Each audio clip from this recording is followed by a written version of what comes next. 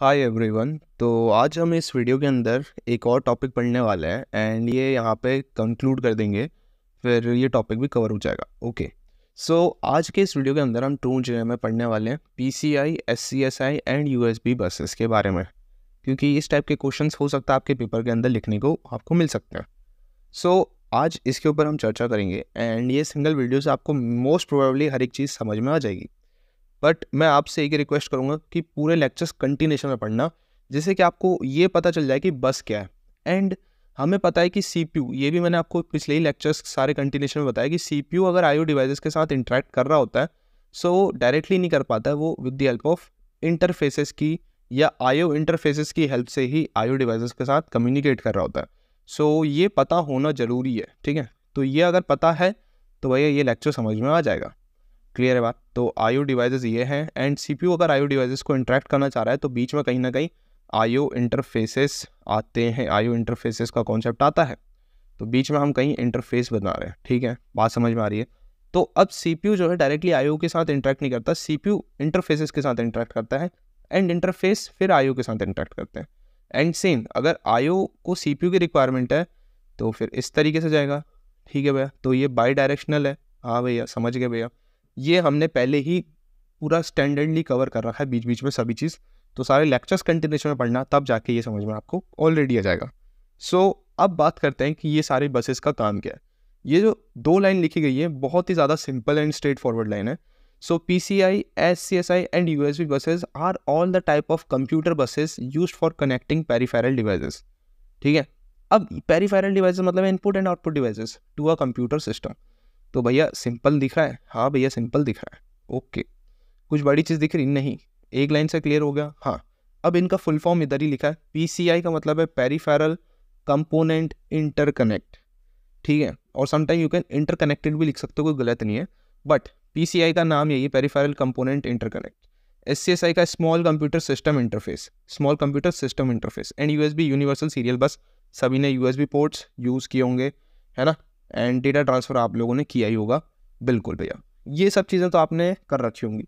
हो सकता है आपने पीसीआई और एस बस डायरेक्ट नहीं सुनी होगी बट ये अगर आपको कह सकता हूँ सीपीयू को अगर कनेक्ट करना है पेरीफेरल डिवाइसेस के साथ तो ये काम आते हैं। ठीक है भाई ये बसेस काम आती हैं। बस का काम यही है कि आप लोगों ने सिस्टम बस पढ़ी होगी जिसके अंदर कंट्रोल बस एड्रेस बस और डेटा बस ये तीनों बसें आती हैं। ये सब मैंने डिटेल में पढ़ाया है। ये सब मैं कंटिन्यूशन में ही पढ़ाता आ रहा हूँ। ठीक है? तो वो पहले लेक्चर्स पढ़ना, तभी समझ में आएँगी चीज़ें, क्योंकि होता है कई स्टूडेंट को समझ में नहीं आता topic P C S C S and U so आपको ये डेफिनेशन से ही पूरा क्लियर अंडरस्टैंडिंग हो जाएगी। बट शर्त ये है कि पहले बस स्ट्रक्चर आना चाहिए, पहले आयु इंटरफेसेस कॉन्सेप्ट क्लियर होने चाहिए। क्लियर है? सो PCI को सबसे पहले देख लेते हैं। पी का पूरा नाम पेरीफेरल कंपोनेंट इंटरकनेक्ट बता दिया है। Is a standard bus for connecting various hardware components directly to the motherboard ये बहुत ही ज़्यादा इंपॉर्टेंट लाइन है। सो पीसीआई बस के थ्रू हम क्या कर रहे होते हैं? मदरबोर्ड से डायरेक्टली हार्डवेयर कंपोनेंट्स को कनेक्ट कर रहे होते हैं। ये लाइन अगर समझ गए तो भैया पीसीआई बस का काम इतना ही है। ठीक है? अब पीसीआई बस में बस में देखो कहीं मल्टीपल पॉइंट्स अगर मीट कर रहे होते हैं तो उसको ब्रिज कहते हैं। ये सब कॉन्सेप्ट आप लोगों को पता ही होंगे, कोई बड़ी चीज़ नहीं है। ठीक है भैया? समझ गए? सिंपल चीज़ ये लिखी एक लाइन से। PCI supports high speed data transmission या high speed data transfer rates and is commonly used for connecting expansion cards such as network card, sound card, graphic cards. तो ये सारे cards ज़्यादातर यूज़ होते हैं सही है भैया P C I has gone through several iterations और iterations including PCI, PCIX, PCI Express with PCI being the most widely used today for high bandwidth and scalability. तो बात समझ में आ रही तो एक कुछ आप यहाँ पे देख सकते हो उसके डिफरेंट डिफरेंट चीज़ें ओके अब जो नेक्स्ट चीज़ है which is called S C S I bus. बहुत सिंपल वे में बता रहा हूँ। इससे ज़्यादा सिंपल आपको कहीं मिलेगा भी नहीं, ठीक है? कहीं पे भी नहीं मिलेगा। ये डेफिनेशन अगर आप एग्ज़ाम में लिख के आते हो तो कोई भी आपका मार्क्स डिटेक्ट नहीं करेगा। ठीक है? क्लियर है? एस सी एस आई का पूरा नाम है, हमने देख लिया था स्मॉर्ट कंप्यूटर सिस्टम इंटरफेस बहुत ही बढ़िया। Is a set of standard for connecting and transferring data between computers and the peripheral devices such as hard disk या हार्ड ड्राइव डिस्क टेप्स और tape drives scanners and the printers तो ये भी वही काम कर रहे होते हैं। बट यहाँ पे मदरबोर्ड वाला कोई कॉन्सेप्ट लगता नहीं है। क्लियर है बात? और एस सी एस आई बस को कंट्रोल कौन कर रहा होता है? S C S I controller कर रहा होता है। क्लियर है बात? तो यहाँ पे हार्ड डिस्क हो गया डिस्क टेप हो गया, या फिर टेप ड्राइव्स हो गया स्कैनर हो गया प्रिंटर हो गया तो ये सारे डिवाइसेस अगर कंप्यूटर से कनेक्ट करना चाह रहे हैं तो वो एस सी एस आई बस के थ्रू कर रहे होते हैं। क्लियर है? यही लाइन लिखनी है आपको। यही सबसे मेजर इंपॉर्टेंट लाइन है। और वहाँ पे मदरबोर्ड वाली लाइन बहुत ज़्यादा इंपॉर्टेंट थी। ठीक है। S C S I support high speed data transfer rates and allows for multiple devices to be connected to a single S C S I bus providing the flexibility and the scalability simple है भैया। Although SCSI was widely used in the past, it has largely been replaced by the other interfaces application such as SATA cables आप लोगों ने साटा cable सुनी होंगी। S A T है साटा केबल्स आती थी पहले। तो वो cables A C S I का एग्ज़ाम्पल हो गया भैया। And U S B for other peripheral devices ठीक है?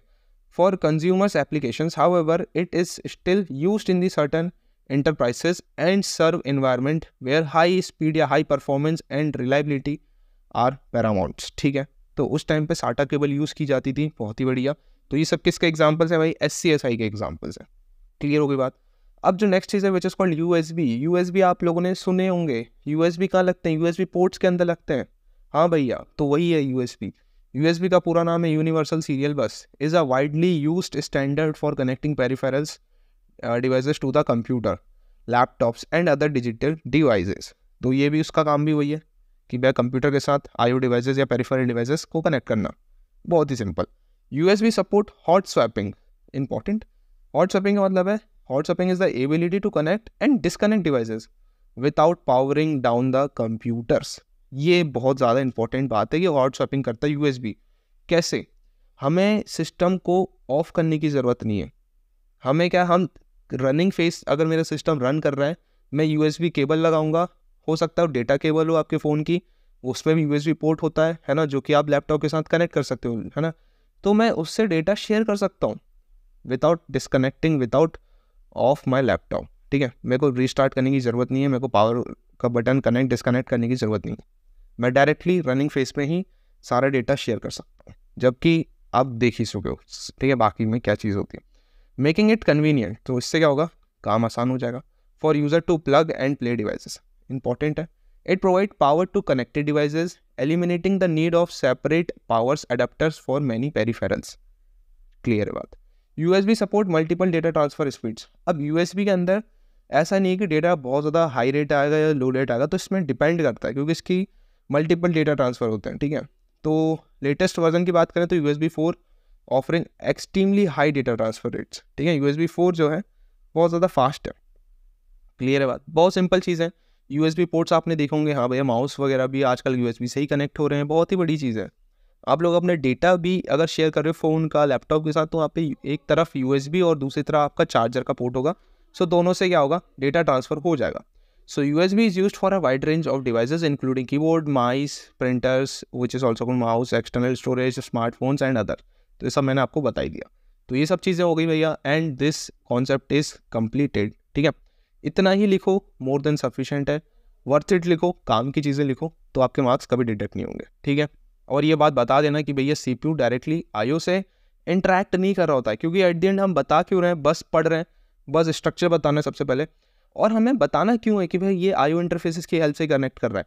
क्योंकि यार at the end peripheral devices which is IO devices computer से कनेक्ट कर रहे हैं मतलब सीपीयू से कनेक्ट कर रहे हैं तो सीपीयू और आईओ डिवाइसेस का ही तो कनेक्शन है ये बसेस तो कहीं ना कहीं बीच में इंटरफेसेस का रोल आएगा ही आएगा. तो बात समझ में आ रही है. सो आई थिंक ये video hundred and one percent सभी स्टूडेंट्स के लिए क्लियर हो चुकी है. किसी को कुछ भी पूछना है भाई कमेंट सेक्शन में पूछ सकते हैं. एंड आज के लिए इतने रखते हैं. मिलते हैं नेक्स्ट वीडियो के साथ. बाय